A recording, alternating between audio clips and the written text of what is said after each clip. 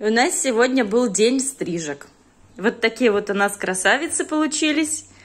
А еще получилась еще одна собачка. В нашей семье пополнение. В шерсти двух собак можно собрать еще одну собаку. Похоже на Йорка? Напишите в комментариях.